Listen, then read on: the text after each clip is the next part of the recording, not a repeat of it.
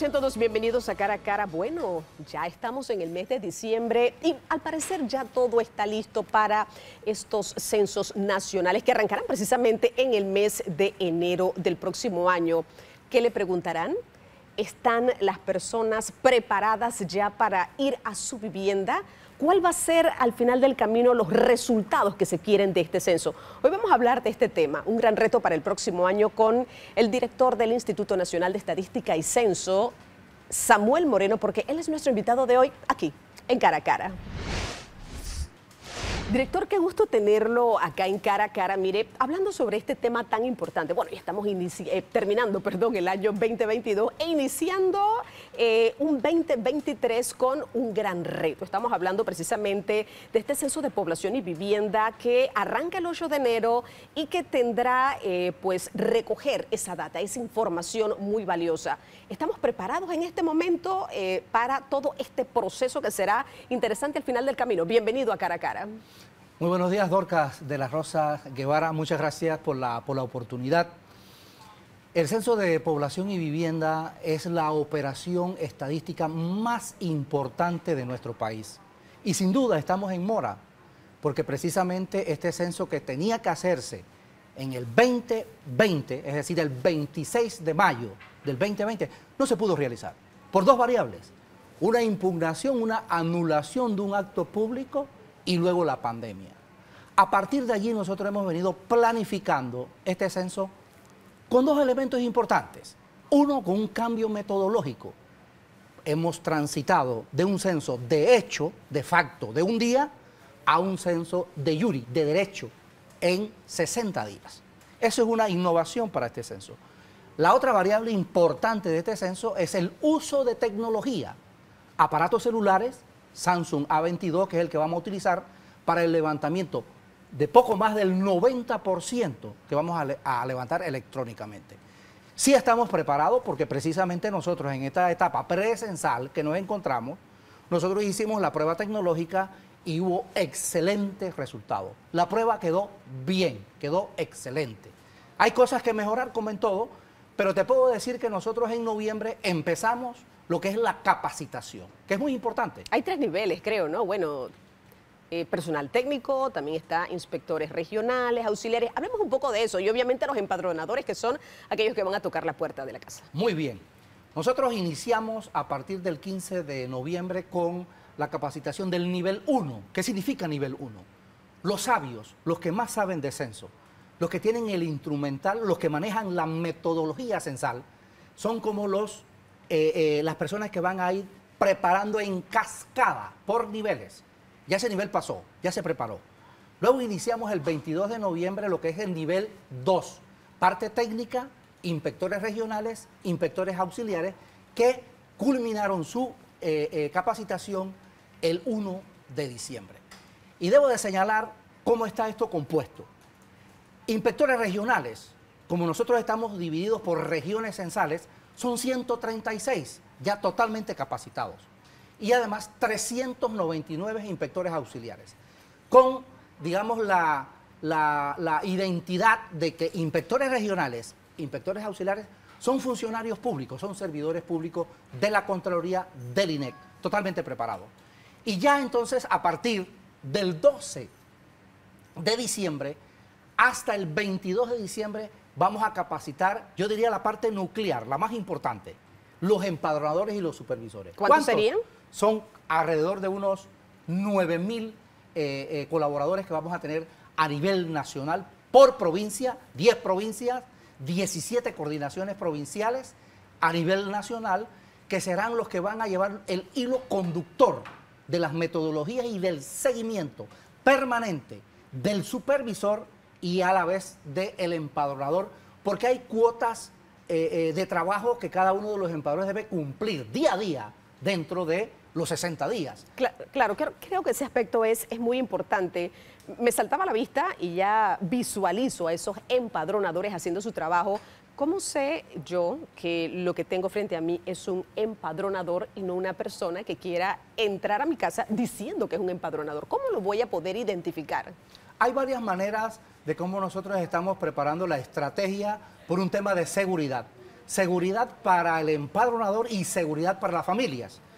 Un, primer momento es que va a estar totalmente identificado con las credenciales del INEC de la Contraloría, pero que incluso si una familia tiene dudas de que efectivamente está llegando a su vivienda, a su hogar, alguien que evidentemente está haciendo un trabajo técnico, tiene la potestad de revisar a través de la página web www.censospanaMA.org.verificación y ahí va a aparecer si Dorcas de la Rosa Guevara es empadronadora.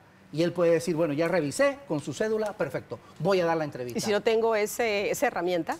Si no tiene esa herramienta, esto puede llamar al, centro de llamada y en el centro de llamada eh, le pueden dar la información de que tal persona está acreditada y es colaborador del INEC de la Contraloría y es en este caso censista, es empadronador. Claro, yo creo que ese aspecto es muy importante. Director, vamos a ir a la primera pausa, pero mire, ¿Qué van a preguntar en estos censos? Yo creo que esto es muy importante porque he visto que ha salido por ahí, eh, le va a preguntar si usted se vacunó o no. Esta será una de las preguntas que está dentro. Y también hablemos un poco sobre esto que usted ha mencionado, la cuota por día que tienen estos empadronadores. ¿Qué pasa si esa cuota no se cumple? Director, y aquí hay un tema que los educadores pueden hablar en propiedad con esto o de esto la remuneración para esas personas que van a trabajar en estos censos? Yo creo que son algunas de las preguntas y también retos que habrá dentro de eh, todo este proceso que arrancará a inicios del próximo año. Lo vamos a hacer cuando regresemos de la siguiente pausa comercial. Acompáñenos, esto es cara a cara.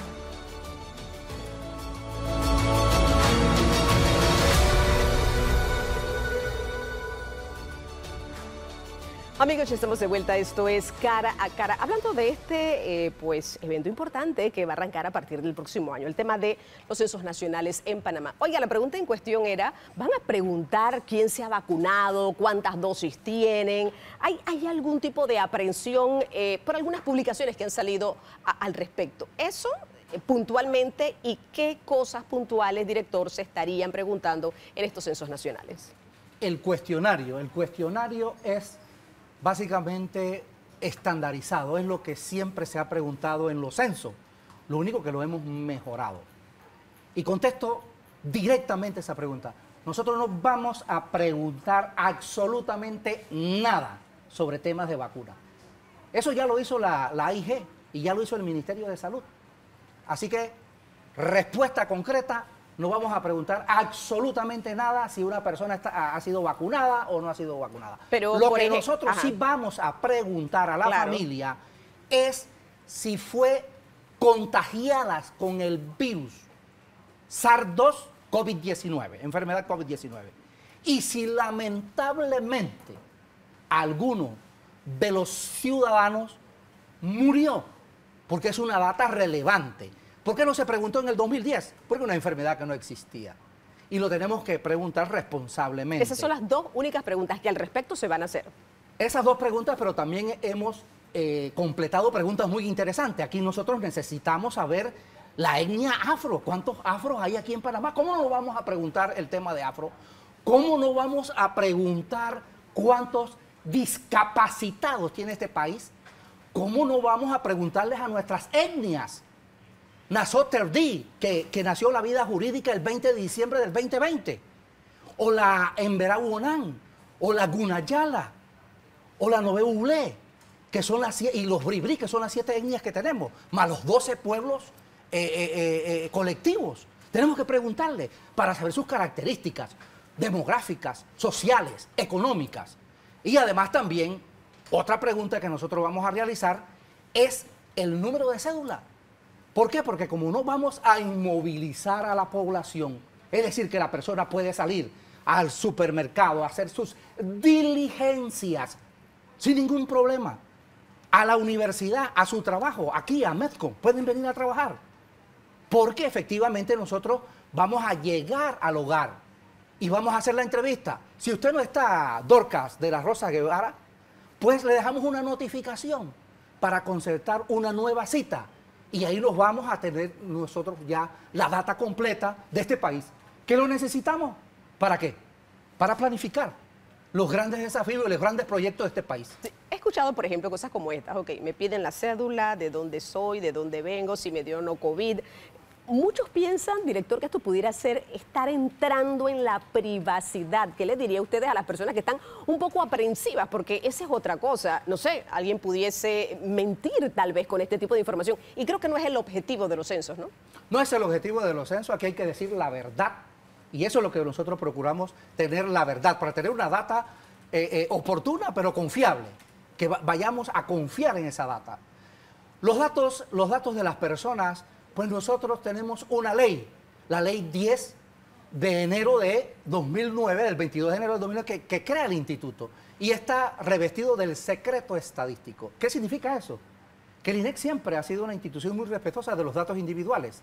Nosotros no hacemos ninguna difusión, divulgación y no promovemos ningún dato individual. Nosotros publicamos datos agregados. Por ejemplo, nosotros no vamos a decir Dorca de la Rosa gana tanto. Nosotros vamos a decir, la sociedad panameña en promedio, este es el salario mínimo, este es el salario promedio, porque sacamos datos ponderados, agregados, nunca datos individuales.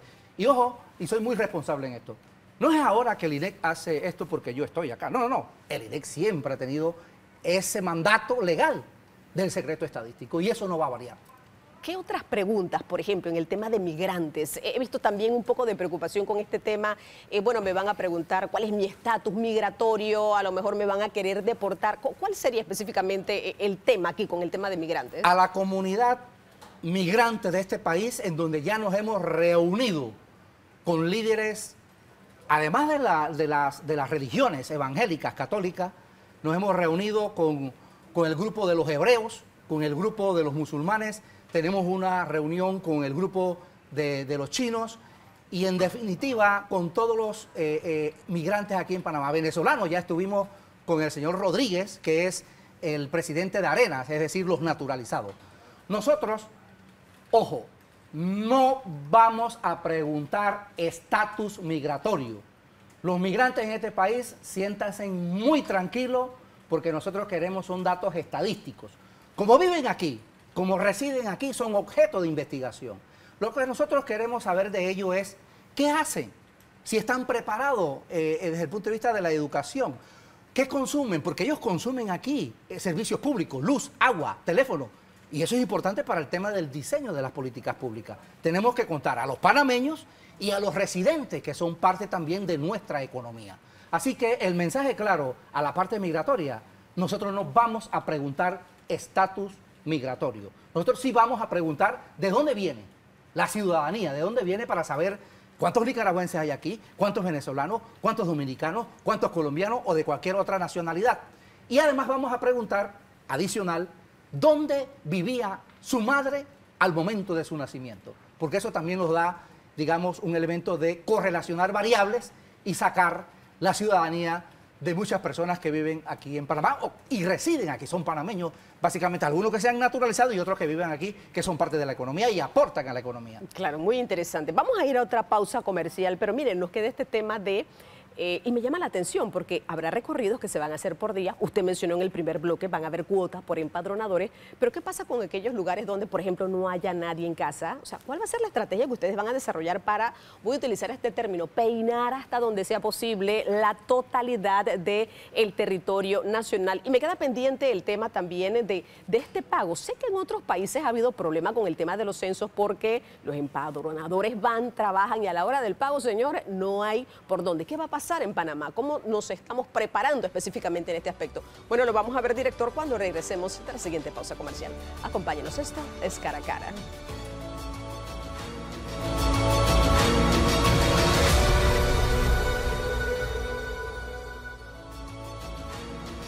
Amigos, ya estamos de vuelta. Esto es Cara a Cara. Director, ¿qué va a pasar con aquellos lugares donde los empadronadores, por la razón que sea, no puedan adquirir en el momento estipulado esos datos? ¿Hay un plan B? Eh, ¿Habrá otro grupo que nuevamente tendrá que peinar el área para mantener esa información importante? ¿Cómo se hará? ¿Qué estrategia tiene planeado en este momento para este tema de los censos?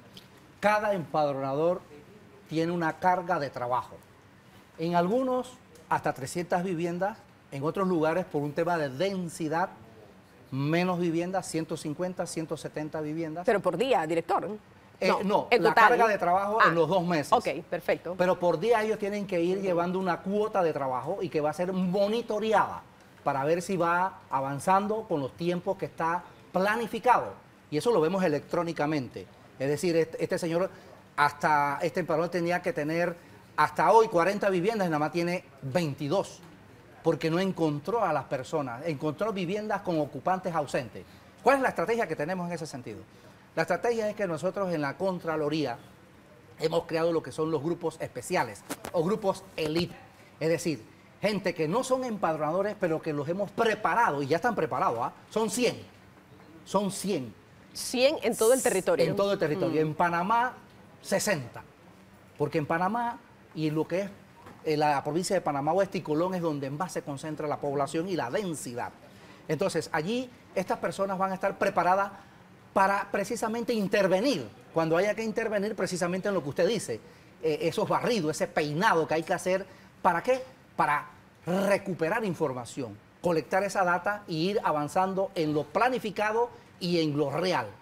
Que esas dos variables, lo planificado y lo real, vayan cercanas y no hayan esas brechas de que planifiqué esto y voy por acá. Entonces, esa es una estrategia que hemos desarrollado y que la probamos en la prueba tecnológica con muy buenos resultados, sobre todo en el área de Tocumen. Eso significa, director, que el tema de fiscalización puntualmente va, a estar allí, o sea, muy, muy estricto, es lo que puedo observar. Muy estricto. Se acabó eso de que me, me senté en un palo de mamón o de un marañón y ahí llené todo.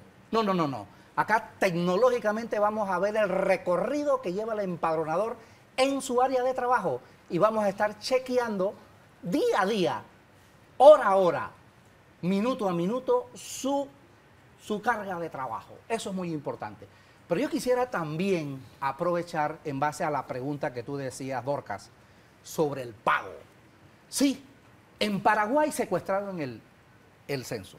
En Dominicana están renunciando a empadronadores. Por no pagarles a tiempo. Por no pagarles a tiempo. Nosotros eso lo vamos, lo estamos trabajando estratégicamente a través del pago electrónico. Hemos hecho una alianza con el Banco Nacional, que mando mis felicidades al banco, porque vamos a bajar la aplicación de la billetera electrónica del Banco Nacional, el BEN, billetera electrónica nacional. Y ahí el empadronador lo va a tener en su móvil y específicamente se le va a depositar. Y ojo, que la persona que, tiene esa billetera no tiene que tener cuenta bancaria. Es un producto innovador que lo hizo la Universidad Tecnológica de Panamá para el Banco Nacional, ingenieros panameños, como fue efectivamente las dos aplicaciones que nosotros hemos hecho, tanto para el empadronador como para el supervisor, esas aplicaciones eh, de programación la han hecho ingenieros panameños cero consultoría. Aquí no va a haber problema ni queja de empadronadores que a mí no me pagaron, no llegó el dinero a tiempo. Eso no va a pasar en Panamá. No va a pasar. Sí tenemos una parte en donde sí vamos a pagar en efectivo, sobre todo en áreas eh, de difícil acceso donde no hay conectividad, no hay electricidad. Claro, es la excepción. Es la excepción a la regla general, pero todo, el, mayormente los pagos todos van a ser electrónicos. Y en la prueba tecnológica probamos eso y no hubo ninguna novedad. Fue exitoso el pago. Y esperemos que efectivamente con esta alianza con el Banco Nacional esos pagos se hagan en tiempo y espacio. Que esos 700 dólares que se le va a pagar al empadronador por mes se paguen a tiempo. Y esos 850 dólares que se les va a pagar al supervisor se paguen a tiempo.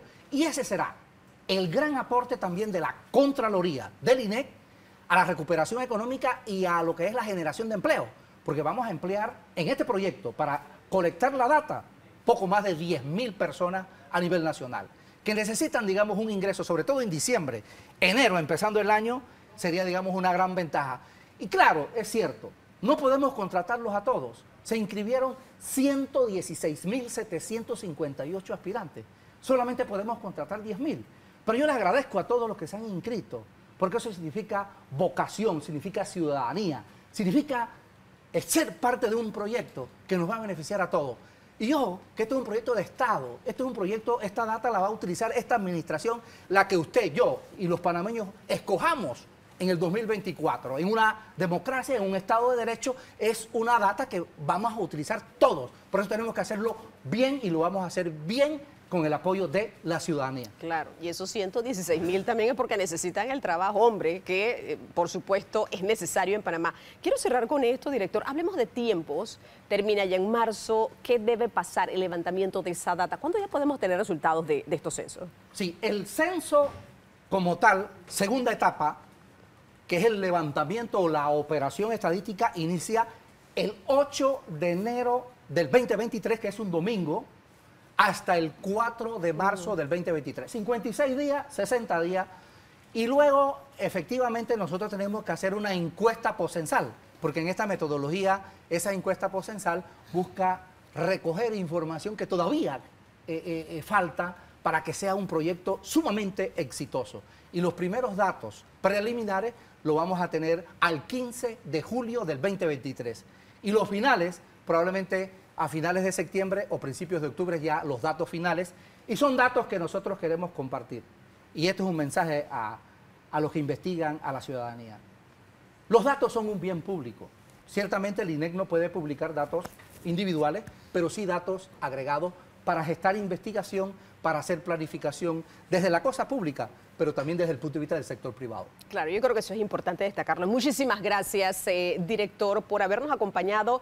Estos elementos son importantes. Bueno, arranca el 2023 y por ahí mismo arranca este censo importante, eh, la contribución a nivel de información que pueda dar el panameño y ojalá que, como usted bien lo ha planteado, en esa fecha, julio, puedan eh, ya darse esos eh, primeros datos de este censo que es un momento también muy importante y data valiosa para todos los panameños. Al director del Instituto Nacional de Estadística y Censo de la Contraloría General de la República, Samuel Moreno, mil gracias por habernos acompañado aquí en Cara a Cara.